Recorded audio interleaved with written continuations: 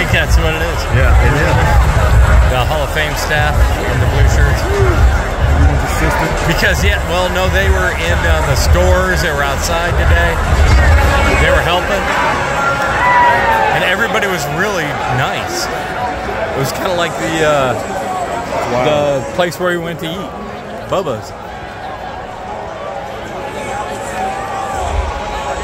Oh man.